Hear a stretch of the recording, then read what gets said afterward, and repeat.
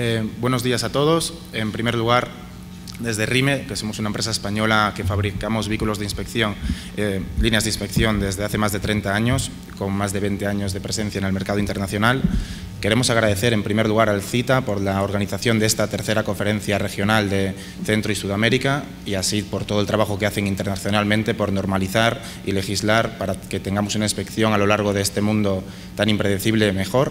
También a RITEVE y a las organizaciones locales como COSEBI y a los miembros del Gobierno costarricense que permiten y apoyan este evento.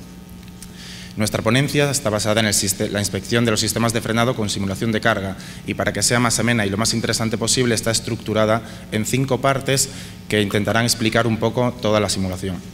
En primer lugar, intentaremos saber el por qué, cuál es el motivo que,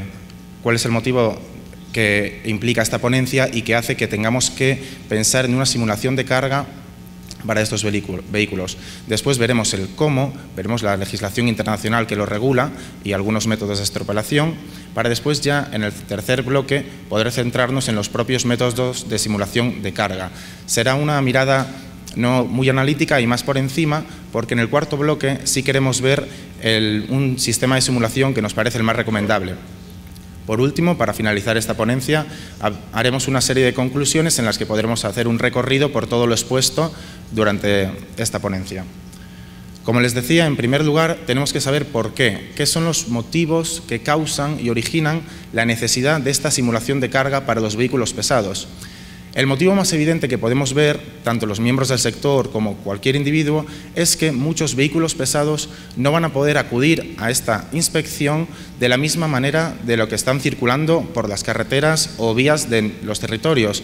Es decir, podemos ver unos cuantos ejemplos, como por ejemplo los vehículos de transporte de pasajeros, como los autobuses, incluso el transporte escolar, no está permitido que realicen la inspección y las diferentes pruebas cargados de los pasajeros. Otro ejemplo muy claro es el vehículo de transporte de animales o de ganado, que tampoco pasará la inspección en condiciones de carga.